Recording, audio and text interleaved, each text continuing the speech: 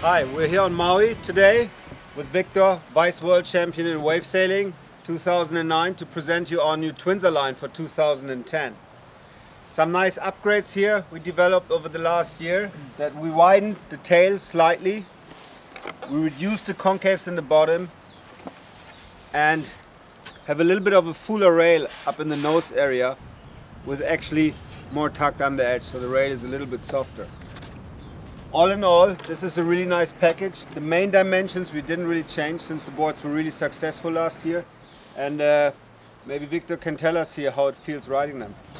With all the features that Sebastian said, we, we, get, we get much more control on the new boards. And um, you know, the wider tail quite feel good, you know, and uh, the, with the new concave we have uh, more speed and more, like uh, the boys has more grip on the wave, so I like the boards and I can sail all around the world with those boards.